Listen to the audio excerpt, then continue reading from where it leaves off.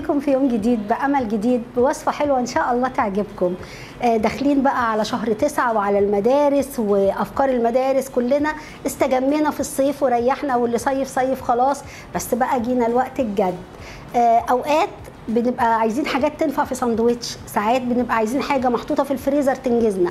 النهارده فكرت أعمل معاكم صدور فراخ روستو.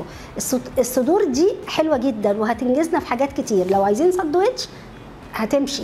لو عايزين نعملها ونقطعها ونحط جنبها رز وصوص هتمشي. عايزين نعملها في سندوتشات ورايحين بسرعة بعد المدرسة لتدريب نادي برضه هتمشي. تعالوا معانا نشوف وصفتنا هتمشي إزاي. هجيب معايا صدور الفراخ أي عدد أنتوا تحبوه. أنا جايبة معايا أربع صدور. المهم في وصفتنا إن الصدور حجمها يكون كبير. وإحنا بنطلب من الفرارجي نقول له إحنا عايزين صدور حجمها كبير. بقطع حتة ال- الفيليه أو ال- ال- الفص اللي بيبقى لوحده عشان هو لما هيستوي هينفصل عن الفرخة. وهاخده بقى أخليه أوظفه في حاجة تانية. معايا أربع صدور وأهم حاجة إن إحنا نكون مهويينها كده على شبكة وننشفها من المية كويس جدا. وبرده لزيادة التأكيد لو معانا فوطة مطبخ فوطة قطن أو أو المناديل الورق نتأكد برضو إن إحنا مش عايزين نخلي عليها أي حاجة. ده ليه علاقة بالطعم الحلو بتاع الفراخ. وفي نفس الوقت هيخليها لما تتحط على النار تسويتها بتعتمد على إنها ما تنزلش أي مية. علشان لما نيجي نقطعها ما تفتلش معانا وتطلع حلوة. يبقى ده أول سر من أسرار تسويتها إنها ما يكونش فيها ولا قطرة مية وده خدوها قاعدة في أي لحوم. معايا حوالي ربع لتلت كوباية من الصويا صوص. يعني إحنا بنحط وبنشوف بس الشكل واللون. مش شرط نحط كله يعني أنا بحطه وبشوف هحتاج تاني ولا لأ. وهقلب فيها الفراخ كده. ما عندكوش فكرة الصويا صوص بتدي للوصفة دي يعني بعد تاني خالص بتنقلها في حتة تانية. هسيبها بالصويا صوص خمس دقايق على ما أجهز التتبيلة الجافة اللي أنا هحطها عليها. بصوا بقى إحنا معانا معلقة كبيرة من البابريكا واهتموا بإن البابريكا تكون كمية حلوة. دي معلقة كبيرة مليانة ويا سلام بقى لو عندكم بابريكا مدخنة الموضوع هيختلف تماما. ومعلقة كبيرة من الثوم البودرة ومن البصل البودرة ومعلقة كبيرة من الزعتر. هاخده بس الزعتر وه افوح زيوته العطرية. وهحط نص معلقة من البهار صغيرة. نص معلقة صغيرة من الفلفل الأسود. ده كيلو صدور يعني المفروض أحط له معلقتين ملح بس أنا حاطة صويا صوص فهنحط معلقة واحدة من الملح وهقلب التوابل مع بعض. الفراخ بتاعتنا هيت استريحت كده في الصويا صوص وامتصته كويس. عارفين هو دوت اللي هيحيقها حلو قوي من جوه ومش هيخلي فيها أي نكهة آه، ممكن نحسها وإحنا بناكل كده فيها زفارة أو حاجة. أنا هاخد التوابل بقى بتاعتنا ديت وهرش منها على الفراخ.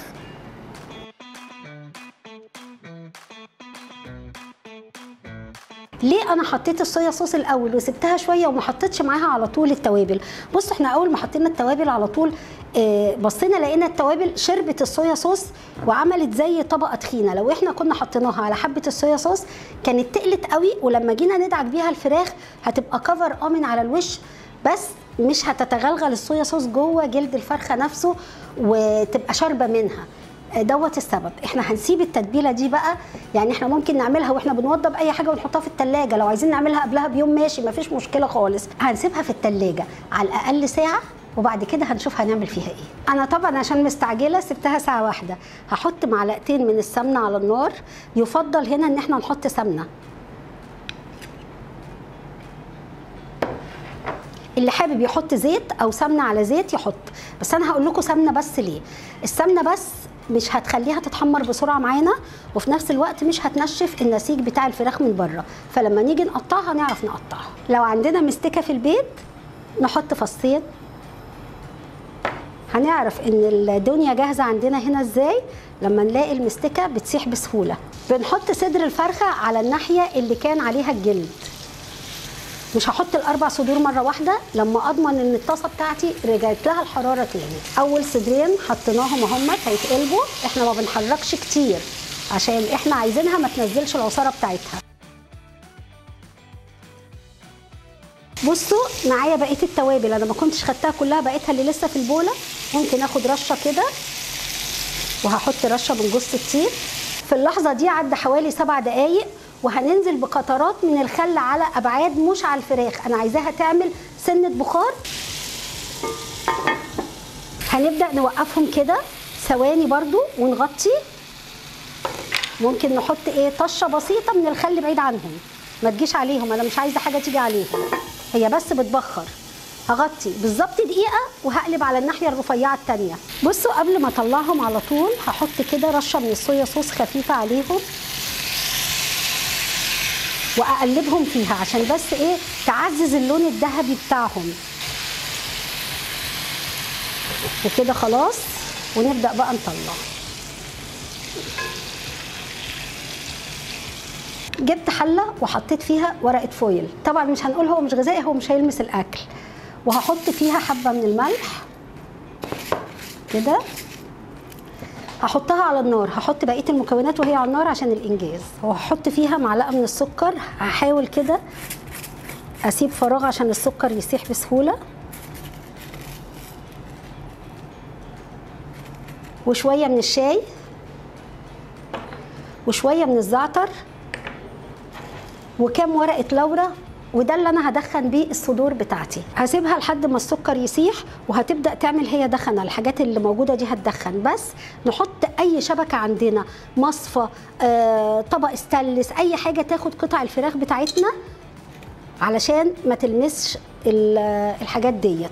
هغطي عليها وهسيبها. لما تبدأ تدخن هحط فيها الفراخ وأسيبها بتاع دقيقتين ثلاثة زي بالظبط لما بنعمل فحمه ونطفيها.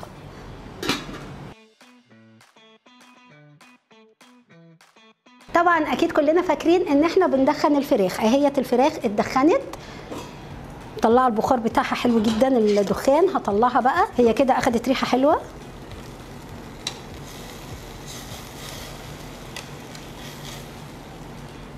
عندي ورق المطبخ بقى. هحطها عليه وهسيبها لحد لما تبرد خالص وأدخلها. لو أنا بقى مستعجلة هدخلها ساعتين ثلاثة الفريزر. لو مش مستعجلة هسيبها بقى في التلاجة كام ساعة علشان أعرف أقطعها.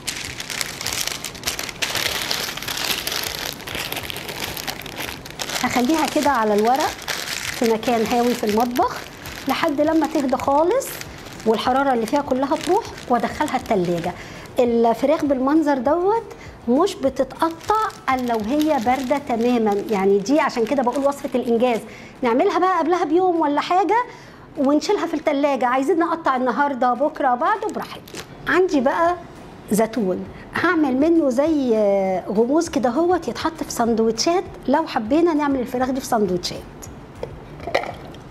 هحطه بس في الكبة. وهحط معايا سنة زيت. وهو طبعا عليه الخل بتاعه. سبته. يعني كان في بتاع معلقة خل سبتها معايا. وهضربه. طبعا إحنا حسب رغبتنا زيتون أسود زيتون أخضر حسب ما بنحب هنعمل. الفراخ بتاعتنا قعدت مدة كافية في التلاجة ومعانا الزيتون اللي فرمناه في الكبة مع معلقة زيت سواء زيت زيتون أو زيت عادي زي ما تحبوا. هنبدأ بقى نقطع الفراخ بتاعتنا.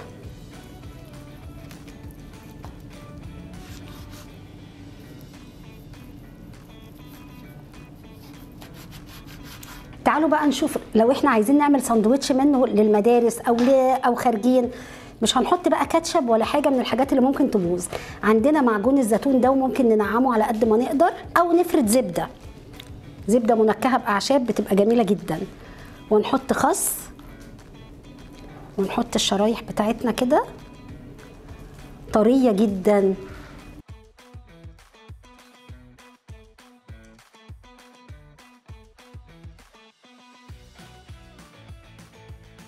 بصوا شايفين أنا عايزة اوريكم حتة وكمان دي من الطرف يعني الطرف أحيانا بيبقى ناشف سنة عشان رقيق فجاله تسوية أكتر.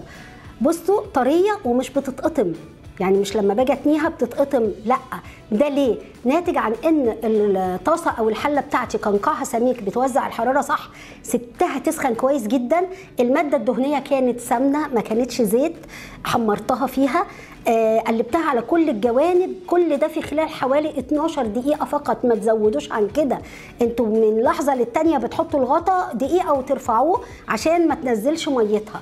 ده كله من عوامل الطراوه بتاعتها. بتكمل ال 15 دقيقة بالثلاث دقائق اللي بنحطها تتدخن بيهم. وخطوة التدخين خطوة مش ضرورية للي اللي مش عاوز يعملها. برضه هتطلع الفراخ طعمها حلو وجميل. بجد أنا عايزة أقول لكم دي منجزة. بصوا من أربع صدور عملنا كمية قد إيه. يعني أنا ممكن أعملهم وأحطهم عندي في الفريزر وأطلع أقطع صدر أعمل منه سندوتشات لو عايزة. بالنسبة لسندوتشات المدرسة أو لو واخدينها نادي والجو حاليا لسه حر ما تحطوش للولاد فيها من تحت كاتشب ولا تحطوا طماطم ولا أي حاجة من الحاجات دي. معجون الزيتون ده حلو جدا ومغذي ومفيد حطوه. اللي ما بيحبش الزيتون وعايز حاجة تطري مسحة زبدة خفيفة جدا ونحط عليها قطع الفراخ. ويعني هتكون طعمها تحفة. أنا مش قادرة أوصف لكم الطعم. الكاميرا ما بتوصلش الطعم ولا الريحة. يا ريتها كانت توصله. لو عجبتكم وصفتي استنوني في وصفات حلوة كتير. كل وصفاتنا تجدوها حصريا على موقع الوصفة دوت كوم.